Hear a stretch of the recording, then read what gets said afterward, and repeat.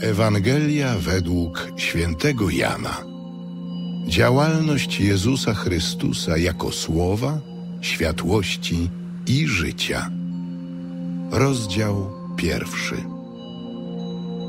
Na początku było Słowo, a Słowo było u Boga i Bogiem było Słowo. Ono było na początku u Boga.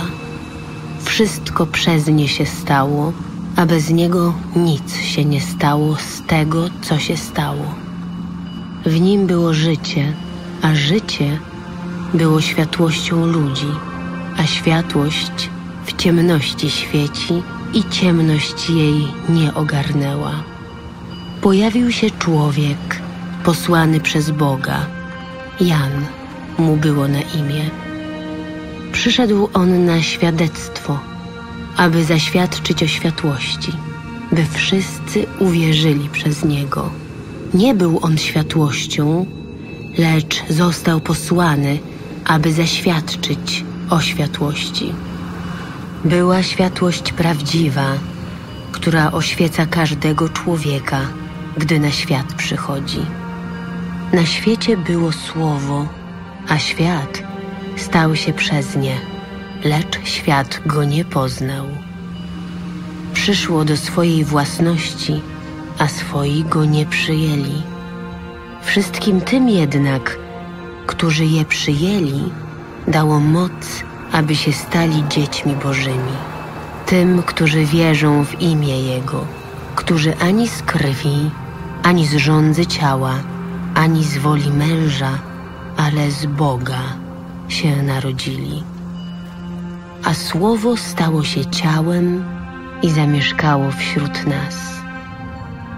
I oglądaliśmy Jego chwałę, chwałę, jaką jednorodzony otrzymuje od Ojca, pełen łaski i prawdy.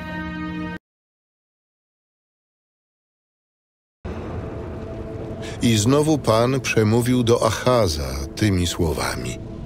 Proś dla siebie o znak od Pana, Boga Twego. Czy to głęboko w Szeolu, czy to wysoko w górze. Lecz Achaz odpowiedział. Nie będę prosił i nie będę wystawiał Pana na próbę. Wtedy rzekł Izajasz. Słuchajcie więc, domu Dawidowy.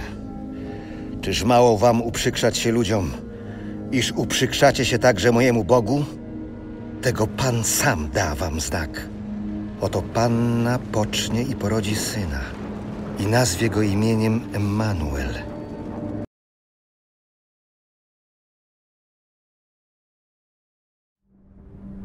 Rozdział dziewiąty. Naród kroczący w ciemnościach ujrzał światłość wielką. Nad mieszkańcami kraju mroków światło zabłysło. Pomnożyłeś radość, zwiększyłeś wesele. Rozradowali się przed Tobą, jak się radują we żniwa, jak się weselą przy podziale łupu, bo złamałeś jego ciężkie jarzmo i drążek na jego ramieniu, pręt jego ciemięscy, jak w dniu porażki Madianitów bo wszelki but pieszego żołnierza, wszelki płaszcz zbroczony krwią pójdzie na spalenie, na pastwę ognia, albowiem dziecię nam się narodziło. Syn został nam dany. Na jego barkach spoczęła władza. Nazwano go imieniem Przedziwny Doradca, Bóg Mocny, Odwieczny Ojciec, Książę Pokoju. Wielkie będzie jego panowanie w pokoju bez granic na tronie Dawida i nad jego królestwem, które on utwierdzi i umocni prawem i sprawiedliwością, odtąd i na wieki. Zazdrosna miłość Pana zastępów tego dokona. Rozdział piąty. A ty, Betlejem Efrata, najmniejszy jesteś wśród plemion judzkich. Z ciebie wyjdzie dla mnie ten, który będzie władał w Izraelu. A pochodzenie jego od początku, od dni wieczności. Przeto Pan porzuci ich aż do czasu, kiedy porodzi mająca porodzić. Wtedy reszta braci jego powróci do synów Izraela.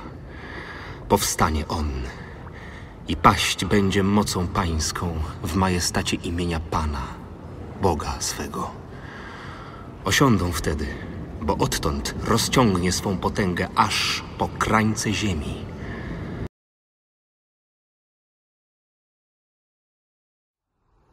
Rozdział czwarty.